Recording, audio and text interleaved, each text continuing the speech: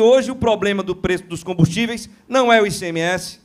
não é a guerra que hoje está acontecendo entre a Rússia e a Ucrânia, que o problema não é dos impostos que incidem sobre esses derivados de petróleo, mas sim a política de preços que temos na Petrobras desde outubro de 2016, implementada pelo Temer e mantida pelo Bolsonaro, que é o preço de paridade de importação, que sangra a população brasileira, atrelando os nossos combustíveis ao preço do barril do petróleo no mercado internacional,